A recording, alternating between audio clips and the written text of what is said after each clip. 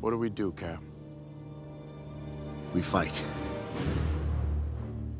This is gonna end well.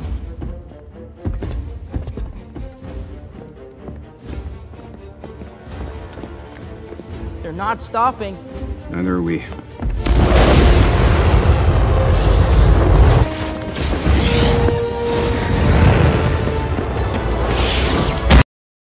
Sudah empat tahun yang lalu film Captain America Civil War dirilis.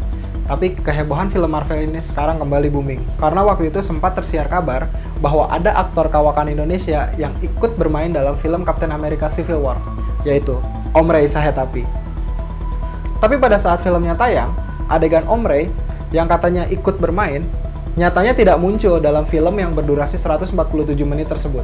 Dan beberapa hari belakangan ini, muncul cuplikan video adegan Om Ray Sahetapi yang ikut main, yang ikut berperan dalam film Captain America Civil War. Seperti apa sih adegannya? Seperti apa sih peran yang Om Ray Sahetapi mainkan? Let's break it down.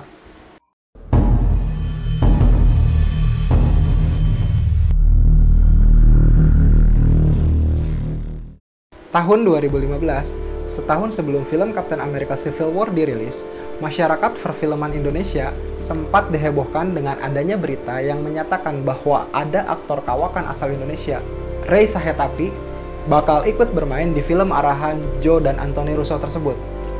Gue juga pada waktu itu ngerasa excited dan bangga banget karena ada aktor dari Indonesia yang bisa ikut bermain di film saganya Marvel. Apalagi gue tahu sendiri, kalau Om Ray main film di Indonesia aja, peran sama filmnya pasti bagus-bagus. Contohnya di film Comic Age Casino King, di filmnya Killer arahan Mo Brothers, dan yang paling memorable di pikiran gue adalah waktu Om Ray main di film The.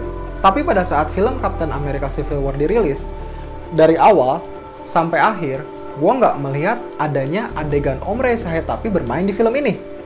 Sempat heran dan kecewa juga, gue pikir artikel yang gue baca tentang Om Ray Sahetapi main di film Civil War ini adalah hoax. Tapi pertanyaan itu terjawab setelah 4 tahun berlalu. Beberapa hari terakhir, banyak beredar video di YouTube, Instagram, dan sosial media lain yang menampilkan adegan Om Ray Sahetapi berperan di film Civil War. Videonya berdurasi 1 menit 38 detik. Kita lihat dulu bareng-bareng videonya. Orang kita yang berikut mengalami kesulitan untuk sampai di sini. Mantan administrasi Haider mati terbunuh saat melintasi perbatasan Syria. Senjata, artefak, dan beberapa dan barang-barang yang mutakhir lainnya yang khusus digunakan oleh Winter Soldier. Kita mulai dari berapa? Jetting, Pak Man. Masa cuma 13 juta? 15 juta. 14. 14 miliar. 14 juta, good. Ayo 15 juta。Who are you? How you getting? This is private. Tu as surenchéri sur ces communs. Même les Polonais n'utilisent plus ces espèces de merde. C'est qui ce type? Tu prends seulement ce qu'ils te laissent avoir. You talk, you bid. I'm not here to bid.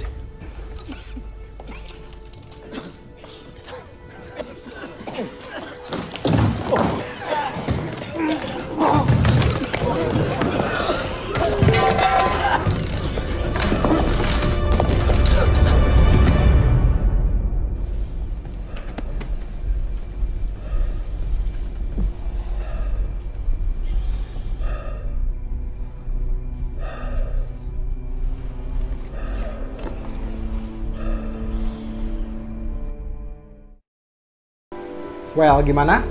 Berarti artikel yang gue baca di tahun 2015 itu benar, bahwa Om Ray Sahetapi itu main di film Captain America Civil War.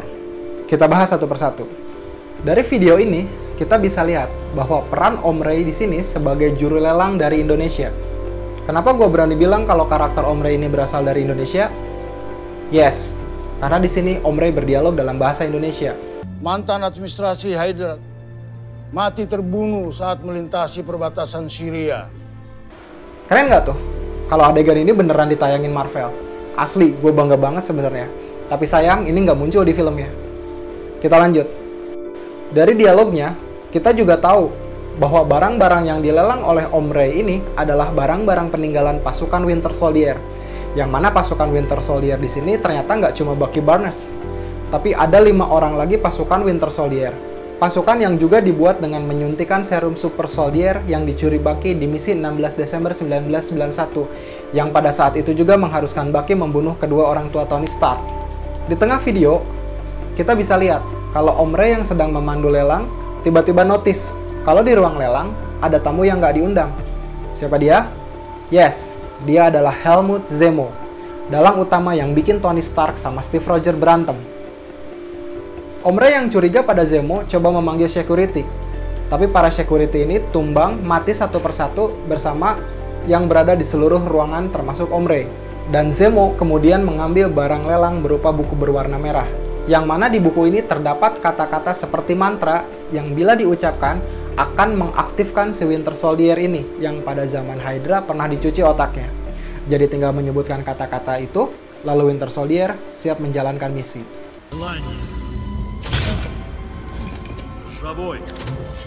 17. Рассвет. Печь. Девять. Добросердечный. Возвращение на родину. Один. Грузовой вагон.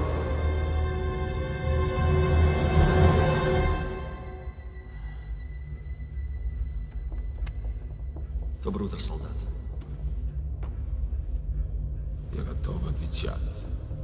Kalau di film diceritakan, Zemo mendapatkan buku ini dari mantan kolonel Hydra bernama Vasily Karpov yang sempat didatangi Zemo di Cleveland. Setelah Zemo mengambil buku ini di tempat Vasily Karpov, Zemo pun menanyakan tentang misi 16 Desember 1991. Tapi Karpov di sini lebih memilih mati daripada harus memberitahu misi itu kepada Zemo. What do you want? Mission report. December 16, 1991. Go to hell. Di sini, gue dapat penjelasan kalau adegan Om Ray Sahetapi itu bukan deleted scene, melainkan alternative scene. Kalau deleted scene ini adalah adegan yang nggak memiliki poin. Adegan yang walaupun dihapus, nggak akan ada sangkut pautnya ke jalur cerita. Atau kasarnya nggak penting. Kalau adegan Om Ray ini, gue bisa sebut sebagai alternative scene. Karena ada poinnya, di mana Zemo mendapatkan buku merah Hydra. Jadi di sini Marvel membuat dua scene dengan poin yang sama tentang hal itu. Satu, adegan di mana Zemo mendapatkan buku dari Vasily Karpov yang merupakan mantan kolonel Hydra. Dua, adegannya Om Sahetapi, yang di mana Zemo mendapatkan buku merah tersebut dengan cara membunuh semua orang yang ada di pelelangan. Kalau adegan Om Ray atau adegan Zemo versus Karpov ini dihapus atau dianggap nggak penting sama Marvel, maka ada poin yang hilang. Ada poin yang bikin kita nanya, dari mana Helmut Zemo mendapatkan buku merah tersebut? Itulah bedanya deleted scene sama alternative scene. Kesimpulannya, kenapa Marvel lebih memilih adegan Zemo versus Vasily Karpov tersebut? Karena keterkaitan Vasily Karpov dengan Hydra, yang mana Vasily Karpov ini adalah mantan kolonel Hydra yang juga mengetahui misi 16 Desember 1991, yaitu misi di mana Bucky Barnes mencuri super serum dan juga membunuh Howard Stark. Dan video rekamannya dijadikan alat untuk memecah belah Avenger, untuk memecah belah antara Iron Man dan Captain America. Coba sekarang kalau misalkan Marvel pakai scene-nya Om Ray Sahetapi, kayaknya kurang greget gitu. Karena apa? Karena Om Ray Sahetapi tidak memiliki keterkaitan sama sekali dengan Hydra. Om Ray Sahetapi tidak mengetahui misi 16 Desember 1991. Well, jadi masuk akal kalau menurut gua Marvel lebih memilih scene-nya Helmut Zemo versus Vasily Karpov tersebut. Itulah kenapa adegan Om Ray Sahetapi di film Captain America Civil War nggak ada, atau lebih tepatnya diganti. Terlepas dari semuanya, ini cuma opini menurut gua. Mungkin Marvel punya alasan lebih keren kenapa memilih adegan Zemo versus Karpov ini, atau mungkin juga pemikiran gua sama sama Kevin Feige dan Russo Brother. Selama 4 tahun ini, Om Ray Sahetapi pun sangat profesional di mana dia sama sekali nggak membocorkan perannya ke publik Indonesia demi menjaga kerahasiaan naskah film Captain America Civil War. Karena kita semua tahu, Marvel sangat menjaga kerahasiaan film-filmnya sebelum tayang. Dan sekali lagi, kita boleh berbangga bahwasanya ada aktor Indonesia yang main di film box office sekelas Marvel. Juga waktu itu ada Christine Hakim yang beradu peran dengan Julia Robert di film Eat Pray Love, juga Joe Taslim di film Fast and Furious. Dari poin-poin yang udah gue bahas tadi, kalau kalian punya penjelasan lain, silakan komen di bawah.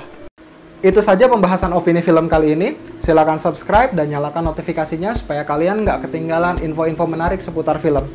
Follow juga akun Instagram gue di @yuradesneda supaya kita bisa berdiskusi langsung tentang hal-hal menarik lainnya. I'm Dede Surya, and until next time. Karena nonton film, nggak cuma buat hiburan.